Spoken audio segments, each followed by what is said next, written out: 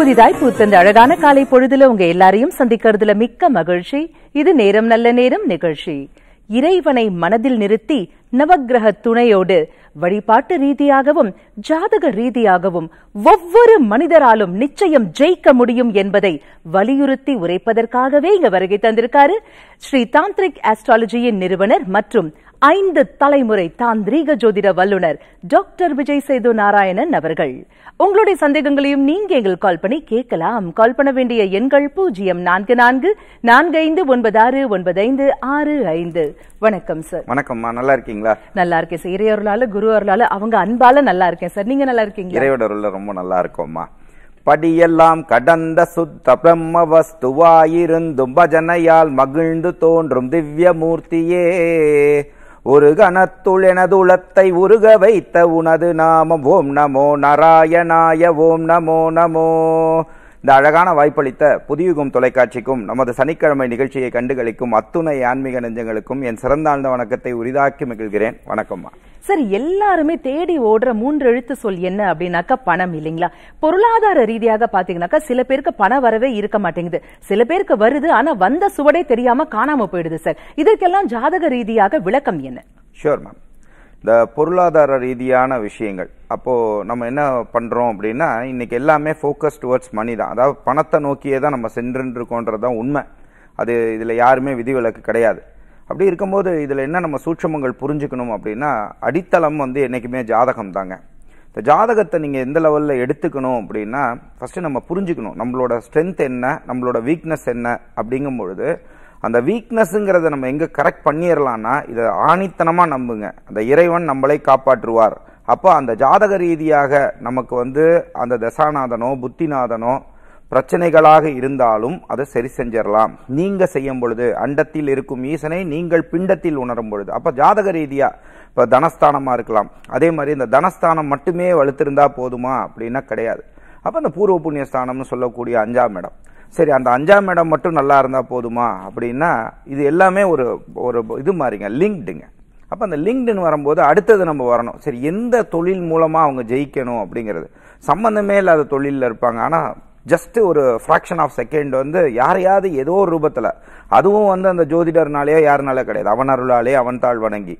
அப்படிங்கும்போது டக்குன்னு அந்த நேர காலங்கள் வரும்போது அந்த தொழிலுக்குள்ளே போவாங்க. அப்போ அந்த தொழில் ஸ்தானம் எப்படி இருக்குது சரி அந்த தொழில் பண்ணாங்கன்னா அந்த லாபங்கள் கிடைக்குமா? அப்படிங்கிறது.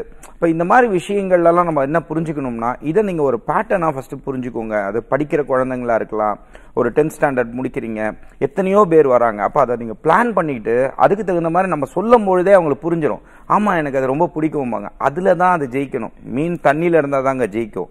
அப்படிங்கும்பொழுது அந்த அது வந்து என்ன பண்ணக்கூடாது? பெற்றோர்கள் என்ன நினச்சிக்க கூடாது நமக்கு பிடிக்கிற நம்ம செய்ய முடியாததெல்லாம் குழந்தைக்கு கொடுத்துடணும். அது தப்பு. அப்படிங்கும் பொழுது அந்த குழந்தை எதுக்காக பிறந்தது? ஒவ்வொரு ஆன்மா சம்பந்தப்பட்டது. ஜோதிடம் என்பது வந்து ஒரு உடல் சம்பந்தப்பட்டதோ சதை பிண்டம் சம்பந்தப்பட்டது கிடையாது. அப்போ சஞ்சித கர்மா சொல்கிறோம்னா அந்த சதை அந்த ஆன்மா வந்து ஏதோ ஒரு காரணத்துக்காக அது பிறந்திருக்கு. அப்போ அதுக்குள்ள பலாம்பலன்கள் அனுப்பு அனுபவிக்கும் பொழுது அந்த பணம்ங்கிறது ஒரு சாதாரண விஷயம் என்னை பொறுத்த வரைக்கும் ஏன் நான் சொல்கிறேன்னா ஜாதக ரீதியாக அதை சரி செஞ்சுட்டு கரெக்டான பாதைக்கு நம்ம போயிடும் பொழுது when we make a product when we make a ப்ராடக்ட்னா நம்ம கரெக்டான ஒரு விஷயத்தை நம்ம கொண்டு வந்துட்டோம்னா அதனால ஒருத்தர் பயனடையும் பொழுது கண்டிப்பாக பணம்ங்கிறது தானாக கொட்டிடும். அப்போ அந்த சூட்சமத்தை நம்ம புரிஞ்சுக்கணும். அந்த சூட்சமத்தை நம்ம புரிஞ்சுட்டு ஜாதக ரீதியாக பார்த்துட்டு அதுக்குள்ள வழிபாடுகள். ஜாதகம் மட்டுமே தெரிஞ்சவங்க என்ன சொல்லுவாங்க இப்படி தான் இப்படி தான் இருக்கும் அப்படின்றவாங்க. அப்படி அல்ல. அதோட சேர்த்து அந்த வழிபாடுகளையும் நீங்க செய்யும் பொழுது கண்டிப்பாக அந்த அடுத்த லெவலுக்கு முன்னேறிடலாம். அதே மாதிரி இடையில தா தடை தாமதங்கள் வருதுன்னா அதுக்கு தசாபுத்தி அந்தரம் தான் காரணம். மேடம் கேட்ட மாதிரி. அப்போ அதுக்கு என்ன காரணம்? அப்போ நம்ம சொல்லக்கூடிய ஜோதிட ரீதியாக சொல்லும் பொழுது ஒரு ருண ருண ஸ்தானம்னு சொல்லக்கூடியது சத்ருஸ்தானம்னு சொல்லக்கூடியது. அதே மாதிரி அந்த நேரத்தில் என்ன ஆகும்? ஒன்னா நீங்க என்ன புரிஞ்சுக்கணும்? அது வந்து உடல் ரீதியான பிணிகள்னால காசு போயிடும். அந்த சேர்த்து வச்ச காசு. இன்னொருத்தங்களுக்கு என்ன ஆகும்? அந்த நல்ல காலத்தில் என்ன பண்ணுவாங்க? யாராவது ஒருத்தர் ஏற்றி விடுறது. இன்னும் ஒரு ஒரு கோடி ரூபா சேர்த்து கடன் வாங்க அப்படியே பிரம்மாண்டமாக வீடு கட்டிடுவோன்னு வாங்க அப்படி பண்ணும்பொழுது அவங்க அடுத்த பேட் டைம் வரும்போது கடனால் இழக்கணுங்கிற விதி வரும். இன்னொருத்தவங்க என்ன ஆகும்? ஒரு எதிரினால் போகணுன்றது இருக்கும். அப்போ அந்த ஸ்தான பலங்களை பொறுத்து அவங்க இழப்பாங்க. அப்போ அதுக்கு தான் நம்ம என்ன சொல்கிறோம் இந்த மாதிரி விஷயங்களை உங்களுடைய சொத்துக்கள் உங்களுடைய பணங்கள் அதை உருவாக்குறது வந்து ரொம்ப சிரமங்க. பட் அதை வெளியே விடுறது ரொம்ப ஈஸி அப்போ அந்த ஜாதக ரீதியாக நீங்கள் பார்த்துட்டு ஒரு அலர்ட்னஸோட பயப்பட சொல்லலை. ஒரு அலர்ட்னஸோட இந்த இடத்துல ஸ்பீட் பிரேக்கர் இருக்குது மெதுவாக தான் கார் ஓட்டணும் அப்படிங்கிறத நீங்கள் புரிஞ்சிடும் பொழுது மிகப்பெரிய கோடீஸ்வரர்கள்லாம் அதெல்லாம் நம்ம அப்படி சூட்சமமாக புரிஞ்சுக்கிறதுனால தலையை சுற்றிலாம் அவங்க போகிறதில்ல ஜோதிட ரீதியாக பார்த்துக்கிறாங்க அதுக்குள்ள வழிபாடுகளை அவங்க செஞ்சுக்கிறாங்க ஜெயிச்சிடுறாங்க. சரிங்க சார். பொருளாதாரம் அப்படின்னு சொல்லும்போது எவ்வளவு பிரச்சனைகள் இருக்கோ அதை விட அதிகமான கேள்விகள் தோணுது. ஒரு. நேரத்தை பேசிட்டு நம்ம தொடர்ந்து பேசுவோம். வணக்கம். நேரம் நல்ல நேரம். யாரு பேசுறீங்க? ஹலோ. வணக்கம். சார் யார் பேசுறீங்க? நான் கோயம்புத்தூர்ல இருந்து பேசுறேங்க. சொல்லுங்க. எனக்கு யாருக்காக கேட்க போறீங்க? பையனுக்காக அவருடைய பெயர்? Ashok Kumar. Date of birth date of birth seven அந்த seventeen ten nineteen ninety three okay ராசி நட்சத்திரம் மற்றும் லக்னம் சொல்லுங்க சார் துலா ராசி சுவாதி நட்சத்திரம். ஓகே லக்னம்? லக்னம் சரியா தெரியல. கடக லக்னமா இருக்கணும். ஓகே பரவாயில்ல சார் சொல்லுங்க என்ன கேட்கணும் இன்னைக்கு உங்க அன்பு மகனுக்காக? அவங்க பிசினஸ் பண்றாங்க சரிங்க சார் ஆனா எது எடுத்தாலும் கடன்லயே முடியுது நஷ்டத்திலேயே முடியுது. சார் கவலையே படாதீங்க. இதற்கான தீர்வுகள் உங்களுக்காகவே இப்ப சார் கொடுப்பாரு கேட்கலாம். ஐயா காலை வணக்கம் ஐயா. வணக்கம் ஐயா. ஐயா உங்க பையன் நல்லா இருப்பாருங்க. கவலைப்பட வேணாம். பட் நீங்க எப்பயுமே ஒரு விஷயத்துக்கு வரும்போது இந்த லக்னாதிபதிங்கிறது ரொம்ப முக்கியம். பட் நீங்க ராசியை வச்சு நீங்க சொல்றதுனால சொல்றோம். இப்ப நீங்க இதுல நீங்க என்ன செய்யணும் அப்படின்னா சார் இப்போ நீங்க நரசிம்ம சுவாமியை வழிபட்டுக்கணும். அதே மாதிரி இதுக்கு வந்து சாயரட்சை தாந்திரிகம்னு உண்டுங்க. சாயரட்சை வழிபாடுன்னு உண்டு. இதுக்கு நீங்க என்ன செஞ்சிருங்க அப்படின்னா உங்க வீட்டில் இருக்கக்கூடிய உங்க பையன் தான் இதை செய்யணும். இதுக்காக நீங்க செஞ்சீங்கன்னாலாம் பலிக்காது அப்படிங்கும் பொழுது உங்கள் பையனை வந்து அது உங்கள் வீடு கிழக்கில் இருந்தாலும் மேற்கில் இருந்தாலும் வடக்கில் இருந்தாலும் தெற்கில் இருந்தாலும் கவலை இல்லை.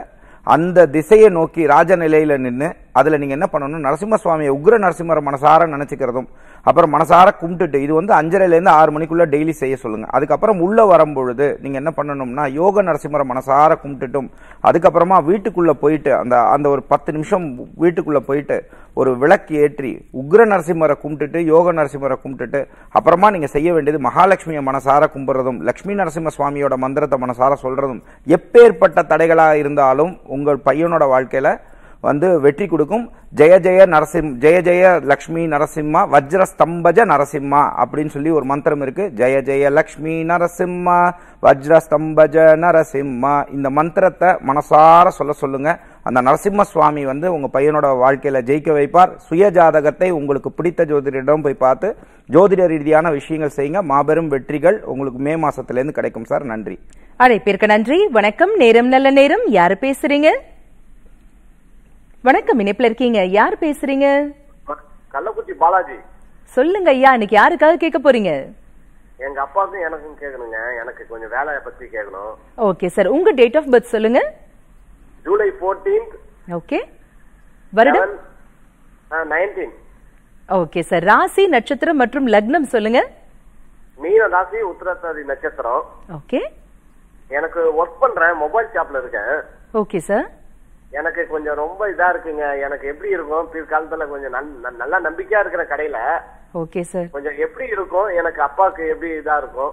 எதை கைவிட்டாலும் நம்பிக்கை மட்டும் கைவிடாதீங்க. நிச்சயமா ஒளிமயமான எதிர்காலம் உங்களுக்காகவே காத்துட்டு இருக்கு சார் அப்ப அதற்கான வழிமுறைகள் கொடுப்பாரு கேட்கலாம். காலை வணக்கம் பாலாஜி சார் காலை வணக்கம் சார் நீங்க அன்புக்குரியவருங்க பாலாஜி சார் நீங்க வந்து நட்புக்காக நிறைய செய்வீங்க. நட்புக்கு உதாரணமா இருந்துட்டு இருப்பீங்க. உண்மைதானே? ஆமா சார் ஆமா சார். நீங்க ரொம்ப அன்பான மனிதர். நீங்க அப்படியே இருங்க. அதாவது மனம் போல் தான் வாழ்க்கை. சரிங்களா? நீங்க கெட்டது செஞ்சவங்கள்ட்ட கூட நீங்க அன்பு காட்டுவீங்க. அதை உயிர் இருக்கிற வரைக்கும் இதே இதுலயே இருங்க. உங்களை காப்பாற்ற போகக்கூடிய வல்லமை வந்து கலிய பெருமாளுக்கு உண்டு. சரிங்களா? நீங்கள் ரொம்ப நல்லா இருக்க போகிறீங்க தை மாதத்துலேருந்து நல்ல மாற்றங்கள் வரும். கூப்பிட்டு சொல்லுங்கள் நம்ம சேனல் கூப்பிட்டு சொல்லுங்கள் அப்பாவை பொறுத்த வரைக்கும்லாம் நீங்கள் ஒன்றும் பயப்பட வேணாம். அவருக்கு சின்ன சின்ன நோய் பிரச்சனை சம்மந்தமானது இருக்கும். இதுக்கு நீங்கள் அப்பாவை கூட்டிகிட்டு நீங்கள் எங்கே போகணும்? போக வேண்டிய இடம் எங்கே நீங்கள் போகணும் அப்படின்னா திருச்சியில் இருக்கக்கூடிய ஸ்ரீரங்கநாதர் கோயிலுக்கு போங்க. அந்த ஸ்ரீரங்கநாதர் கோயிலுக்கு போயிட்டு நீங்கள் இங்கே செய்ய வேண்டியது வந்து கருடன் இருப்பார். கருடரோட சன்னதி இருக்குது அங்கே போயிட்டு கருட பத்து மட்டும் படிச்சுட்டே வாங்க. விடாமல் நீங்கள் செய்யுங்க. என்னைக்கு உங்களுக்கு தோணுதோ நீங்க பிறந்த நாள்ல போயிட்டு திருப்பதி வெங்கடாஜலபதிக்கு போயிட்டு வாங்க. சில நேர்த்தி கடன்கள் இருக்கு. அதையும் போய் முடிங்க. எக்காரணத்தை கொண்டும் சுவாமிகிட்ட வேண்டாதீங்க ஐயா. நன்றி. அழைப்பிற்கு நன்றி. வணக்கம். நேரம் நல்ல நேரம். யாரு பேசுறீங்க? வணக்கம். இணைப்புல இருக்கீங்க. உங்க பெயர் சொல்லுங்க. சேலம் சேலம் வந்து வெற்றிவேல் பேசுறேன் மேடம். சொல்லுங்க ஐயா. இன்னைக்கு யாருக்காக கேட்க போறீங்க? மேடம் எனக்காக தான் மேடம் கேட்கணும். ஓகே. உங்க டேட் ஆஃப் பர்த் ஒன்பது பத்து ஆயிரத்தி தொள்ளாயிரத்தி தொண்ணூத்தி ஆறு ஓகே ராசி நட்சத்திரம் மற்றும் லக்னம் சார் சிம்ம ராசி மக நட்சத்திரம் விருச்சிக லக்கணம் ஓகே என்ன சார் கேட்கணும் இன்னைக்கு உங்களுக்காக? மேம் எனக்காச்சும் எந்த கடவுளை கும்பிடணும் மேடம்? அது வாழ்க்கையில முன்னேற்றம் வரணும் மேடம். அதுதான் மேடம் ஓகே உங்களுக்கான அதிர்ஷ்டத்தை வாரி வழங்கக்கூடிய இறைவன் யார் அப்படின்னு சார் சொல்வார். அன்பு நேயருக்கு.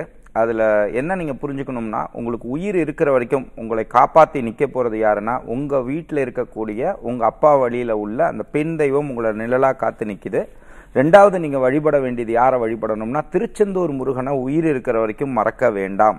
அதே மாதிரி கார்த்திகை மாதத்தில் எப்பெல்லாம் தோணுதோ அப்பெல்லாம் வந்து நேம அனுஷ்டானத்தோட உங்கள் தடைகள் விலகிறதுக்கு நீங்கள் ஐயப்ப சுவாமிக்கு வந்து மாலை அணிந்து போகிறதும் அதே மாதிரி யாரெல்லாம் வந்து நல்ல நேம அனுஷ்டானத்தோட சபரிமலைக்கு போறாங்களோ உங்களால முடிஞ்சதை உயிர் இருக்கும் வரை அவங்களுக்கு உங்களால ஆன பாதைய செலவுக்கோ இல்ல சுவாமிக்கோ இதை நீங்க காணிக்கையா கொடுத்துட்டு வரும்பொழுது எப்பேற்பட்ட மாற்றங்களும் உங்களுக்கு தெரியும். நீங்க நல்லா இருக்கீங்கன்னு சொல்லி பிப்ரவரி மாச டயத்துல நீங்களே இதே நிகழ்ச்சிக்கு கூப்பிடுவீங்க. கூப்பிட்டு சொல்லுங்க. நன்றி.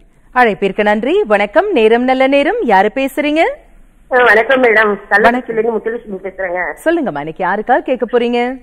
என் பொண்ணுக்காக கேட்கணும். அவங்க பெயரம்மா பவித்ரா. டேட் ஆஃப் பர்த் இது பன்னெண்டு அஞ்சு தொண்ணூத்தி ரெண்டு. ராசி நட்சத்திரம் மற்றும் லக்னம் அம்மா? ராசி வந்து கன்னி ராசி உத்திர நட்சத்திரம் கன்னி இலக்கணம் கல்யாணத்துக்காகவும் அவ எங்க பேச்ச கேட்டு பிடிவாதமா இருக்கா? மனசு மாறும்னு கேட்கணும். அம்மா கவலையே படாதீங்க. அதற்கான தீர்வுகள் சரிப்பா கொடுக்க போறாரு. கேட்கலாம். அம்மா காலை வணக்கம்மா. வணக்கம் சார். அம்மா மன ரீதியான ஒரு சில குழப்பத்துல இருப்பாங்க. மேடம் பொறுத்த வரைக்கும்.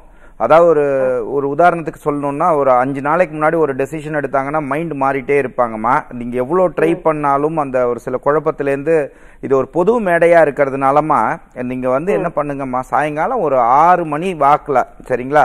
இது நான் உங்களுக்கு மட்டும்தான் சொல்றேன் மித்த நேயர்களுக்கு சொல்லல. நீங்க வந்து என்ன பண்ணுங்கன்னா நீங்க ஒரு கால் பண்ணுங்க. நீங்க கால் பண்ணி பேசுங்கம்மா ஏன்னா பொது மேடையில நம்ம சில விஷயங்கள் சொல்ல முடியாது. நீங்க எனக்கு கூப்பிடுங்க நான் உங்களுக்கு சொல்றேம்மா நன்றி.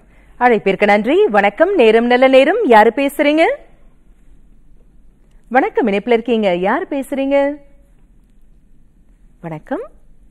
ஓகே. சார் நம்ம பொருளாதாரம் பத்தி பேசிட்டு இருந்தீங்களா ஜாதகம் இறை அருள் இருந்தாக்க நிச்சயமா ஒரு மனிதனால் வெற்றி பெற முடியும் அப்படின்னு சொன்னீங்க சார். ஜாதக ரீதியாக பொருளாதாரம் ஹண்ட்ரட் பர்சன்ட் பக்காவா இருக்கு. இந்த தெரிந்த அந்த- அந்த மனிதர் வந்து வீட்லயே உழைக்காம உட்காந்து தூங்கிட்டே இருக்காரு. அப்போ பணம் வருமா? அதாவது ஜாதகம் ரொம்ப நல்லா இருக்குது அப்படின்னா வெளிப்படையாக சொல்கிறேன் அப்படி தூங்கிட்டே இருந்தாலும் அவங்களுக்குலாம் பணம் வரும். ஏன் அப்படி சொல்கிறோம் அப்படின்னா அதெல்லாம் சில அமைப்பு. அது எல்லாத்துக்குமா இருக்குமானா கிடையாது. ஒரு நூற்றில் ஒரு இருபது பேருக்கு இருக்கும். பட் நம்ம எந்த இந்த சனிக்கிழமை நிகழ்ச்சியை பொறுத்து நீங்கள் தூங்குங்கன்னு நான் சொல்லவே மாட்டேன். அப்படிங்கும் பொழுது அப்படி நான் சொல்லலை. நீங்கள் இதெல்லாம் ஒரு வழிகாட்டியாக வச்சுக்கோங்க. இந்த வழிகாட்டியாக வச்சுன்னு இன்னும் நல்லா உழைங்க. அதை எந்த இடத்துல நீங்கள் உங்கள் உழைப்பை போடணுமோ அந்த உழைப்பை போடும் பொழுது அதுக்கு தகுந்த மாதிரி வழிபாடுகள். இப்போ ஒரு அன்பர் கூட கேட்டார் நான் வந்து எந்த தெய்வத்தை வழிபடணும்னா ஸ்தானங்கள் இருக்குது இப்போ நீங்கள் தொழில் இப்போ ஒருத்தவங்க சொல்கிறாங்க ஜோதிட ரீதியாக சொல்கிறாங்க இந்த மாதிரி இந்த தொழில் இப்படி தான் அப்படின்னு சொல்லி சொல்கிறாங்கன்னா அது கிடையாது. அப்போ அதில் பாதிப்பை கொடுக்கக்கூடியது யார்? நவகிரக அரசர்கள். அப்போ அந்த நவகிரக அரசர்களை படைச்சது யார்? சுவாமி. அப்போ அந்த சுவாமி நினைக்கும் பொழுது என்ன ஆகும்னாங்க இந்த இவங்க பொறுத்த வரைக்கும் இவங்க மேனேஜர்னு வச்சுக்கோங்க நவகிரக அரசர்கள். அதுக்கு மேலே இருக்கிறவர் ஓனர் சுவாமி. அப்போ என்ன ஆகும்? இப்போ நீங்களே பாருங்களேன் ப- பழைய இதிகாசங்கள் எடுத்து பாருங்களேன். அப்படிங்கும் பொழுது அந்த சுவாமியை வழிபடும் போது உடஞ்ச கையை ஒட்ட வைக்க முடியாது. ஆனால் அந்த இடத்துல என்ன நடக்கும்னா வேகமாக அடிக்கும் போது அது மெதுவாக அடிக்கும். அது தீய காலங்களில். நல்ல காலங்களில் என்ன நடக்கும்? அடிக்கடி நான் சொல்கிற மாதிரி ஒரு விஷயம் நல்லது நடக்கிறதுக்கு பத்து விஷயம் நல்லா நடக்கும். அதே மாதிரி அந்த நேரங்களில் அது கெட்ட நேரம் இருக்கும்போது அந்த அந்த ஜாதகத்தை பார்க்க விட்டுட்டாங்க அப்படின்னா அவங்க என்ன பண்ணுவாங்கன்னா அப்படியே ஃபெட்டப் ஆயிடுவாங்க ஒருவேளை நல்ல நேரத்துலையும் நீங்கள் மேடம் கேட்டாங்க பாருங்கள் விளையாட்டா கேட்டாங்க. தூங்கிட்டா வந்துருமா அப்படின்னா சில பேர் இருக்காங்க. நல்ல காலத்தில் தூங்குவாங்க. அப்போ தூக்கமும் நல்லா வரும். அப்போ அந்த ஜாதக ரீதியாக அந்த தசாபுத்தி அந்தரங்கள் மாறும் பொழுது உங்கள் சுய ஜாதகத்தையும் நீங்கள் பார்த்துக்கும் போது வெற்றி பெறலாம்ங்கிறது அனுபவபூர்வமான உண்மை. சார் எல்லாத்தையுமே இறைவன் நவகிரக அரசர்கள் ஜாதகம் தான் பாத்துக்குதுன்னா நாங்க என்னதான் சார் பண்றது? இதெல்லாம் நம்பிக்கை இல்லாதவங்க இது மேல சுத்தமா நம்பிக்கை கிடையாது. ஆனா அவங்க கடினமா உழைப்பறாங்க உழைக்கிறாங்க. அவங்க உழைப்பை மட்டுமே பிரதானமாக எடுத்து செயல்படுறவங்களும் ஜெயிக்க முடியாதா?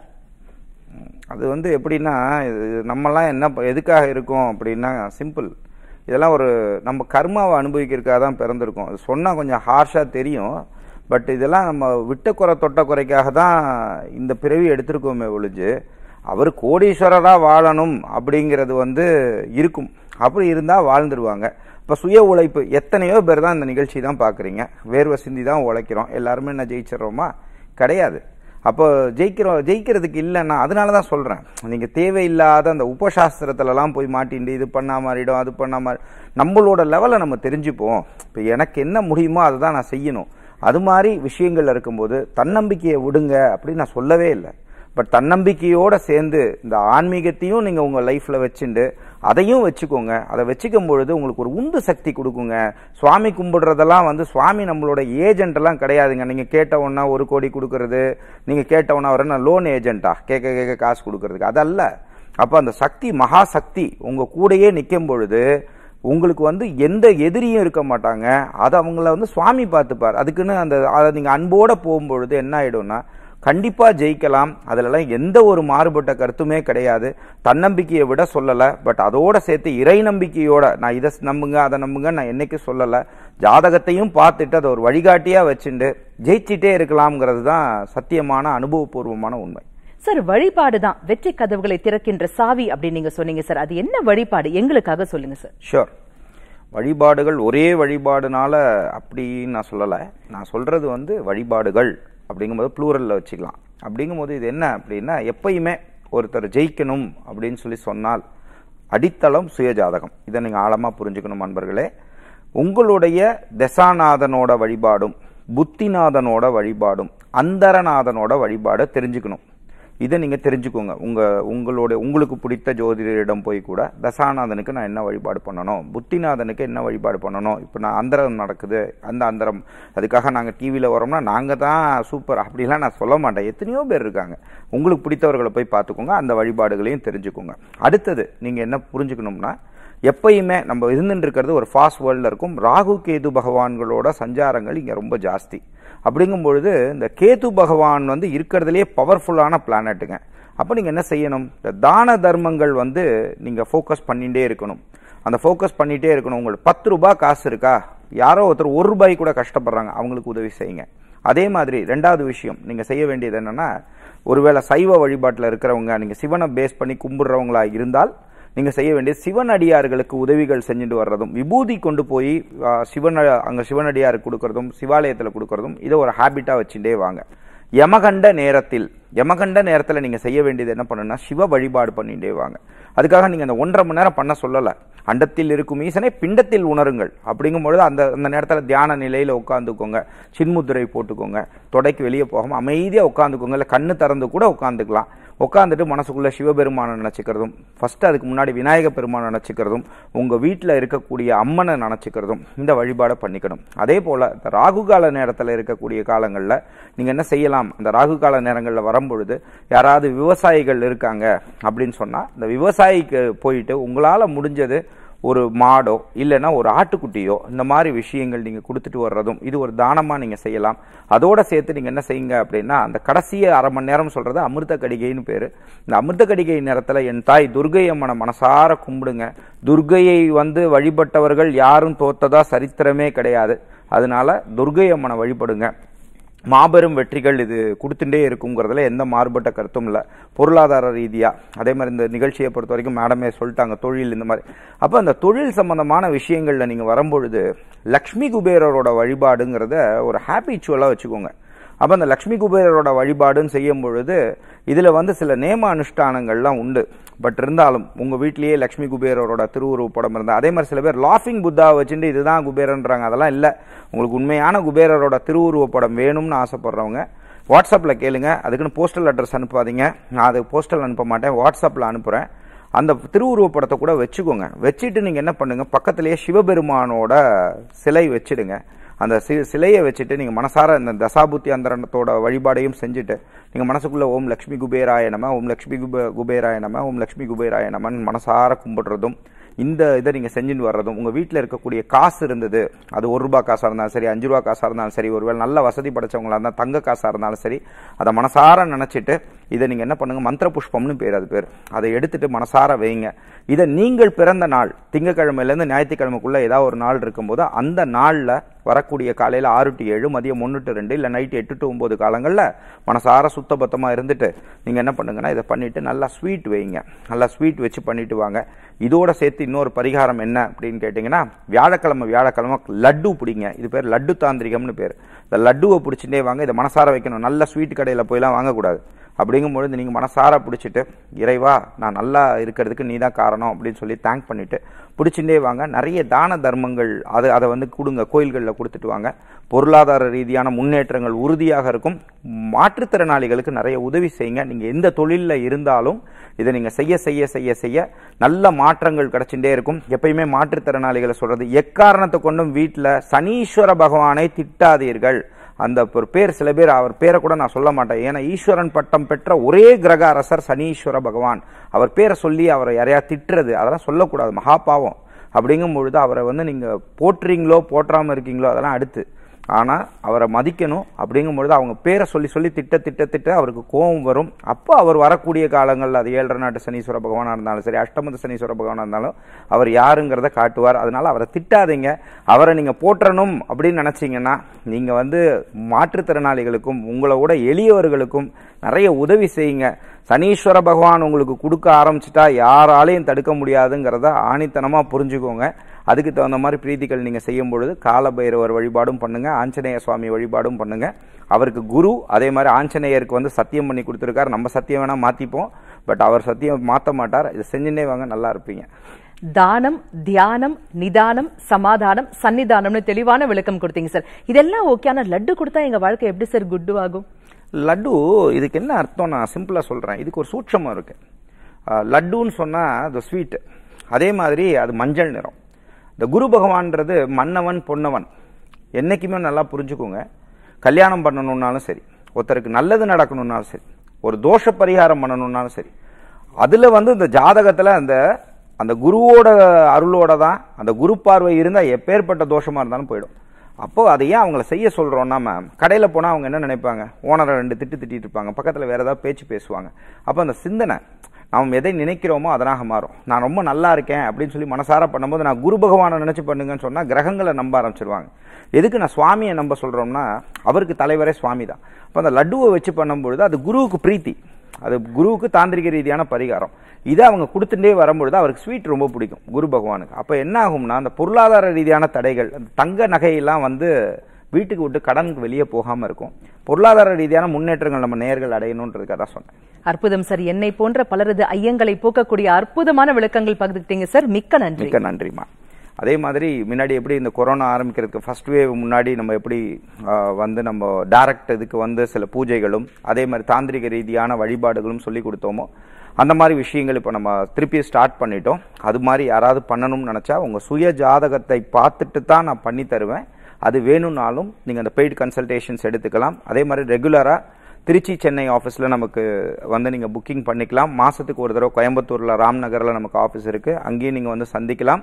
வெள்ளி சனி ஞாயிறு திங்கள் வந்து சென்னையில் டி நகரில் ஆஃபீஸ் இருக்குது திருச்சியில் மலைக்கோட்டை பக்கத்தில் நமக்கு ஆஃபீஸ் இருக்குது செவ்வாய் புதன் வியாழன் இருக்குது அங்கேயும் நீங்கள் வந்து பண்ணிக்கலாம். அதே மாதிரி இதே மாதிரி நிறைய தகவல்கள் வந்து பார்த்தீங்கன்னா ஸ்ரீ தாந்திரிக் அஸ்ட்ராலஜி அப்படிங்கிற யூடியூப் சேனலையும் போய் பார்த்தீங்க அப்படின்னா இந்த மாதிரி நிறைய தாந்திரிக ரீதியான விஷயங்களும் இருக்குது அதே மாதிரி விஜயதசமி நிகழ்ச்சிக்கு பெரு ஆதரவு கொடுத்த என் அன்பார்ந்த நேயர்கள் அத்தனை பேருக்கும் சந்தோஷம். மூணு நாள்ல இவ்வளோ பெரிய கூட்டம் இவ்வளவு பெரிய பேர் ரெஜிஸ்டர் பண்ணியிருப்பீங்கன்னு நானே நினைக்கல. மிக்க நன்றி அன்பர்கள். புது யுகத்துடன் இணைந்திருங்கள் மகிழ்ந்திருங்கள்.